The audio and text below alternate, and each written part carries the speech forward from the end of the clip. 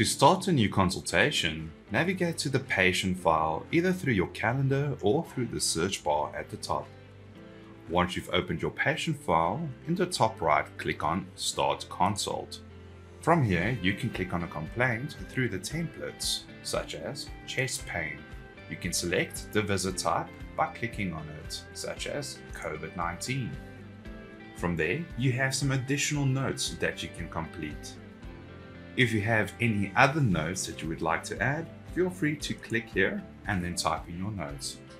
If you have a stylus, you can click on the stylus icon.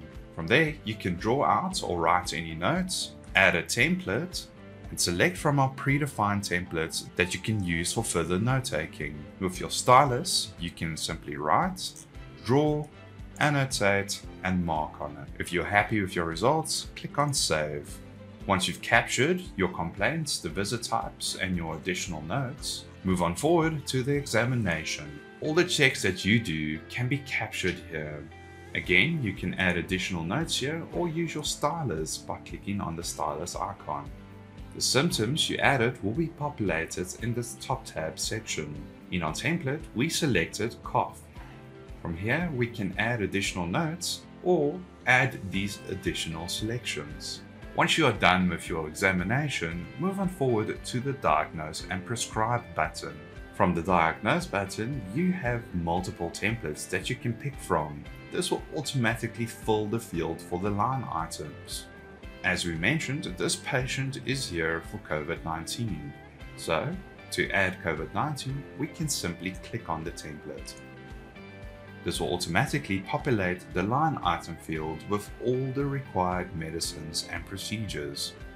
In the event where you don't want to use a template, or if the diagnosis is not available through a template, you can go ahead and click to the right of templates and progress through these fields.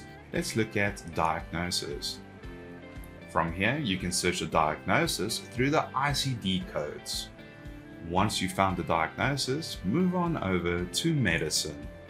Here is where you will search for a medicine and then add the medicines that you will prescribe to the patient. Once you've done with medicines, move on over to procedures. From here, you can add any additional procedures that you perform. Once you selected your procedure, click on Consumables. Consumables will be anything additional that you use, such as your PPE, your gloves, your syringes, or anything else that you want to add onto consumables. Now that you've added all your diagnosis, medicines, and procedures, move on over to the review. Within the review, you can see and double check that all the right medicines are prescribed and all the correct procedures are added. Should you want to save this as a template for future use, click on Save as Template this will then be found under the Templates tab for future use. In the top tab over here, you can move on over to Plan.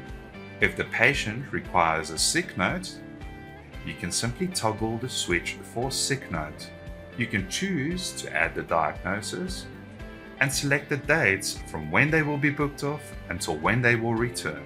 If you have any custom letters, you can add a custom letter to that. If you want to add a referral later, should they need to go see a different specialist, you can create a template from here. And if you need to print out the sick note, you can print it out in the option here below. Should you want to add any other additional notes, you can do so by typing or doing it through your stylus by clicking on the stylus button. You're also able to SMS the patient should they need to return and add additional outcomes. Once you are done with the consultation, click on Review if you want to send these line items back to your admin that is using MyNPS, do so by clicking Send to Admin. And once you are done with the consultation, simply click on Finish.